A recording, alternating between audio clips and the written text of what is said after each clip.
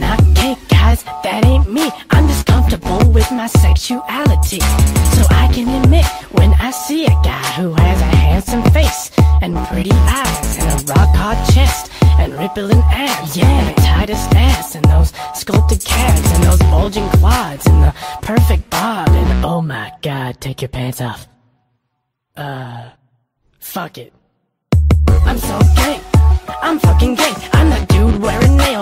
Nail yelling, hey! I'm the dude at the party who will grab your butt. And when you turn around and look at me, I'll be like, what? Yeah,